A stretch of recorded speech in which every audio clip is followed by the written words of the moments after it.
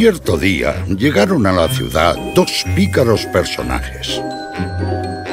Decían traer la mejor cerveza que jamás nadie hubiera probado. Una cerveza tan singular que era invisible para los no entendidos.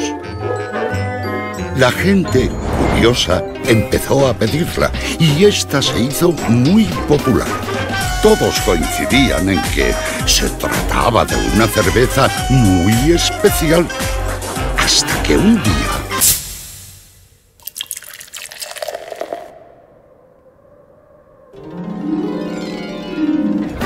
Disfruta de una cerveza especial de verdad. Ponte ambas.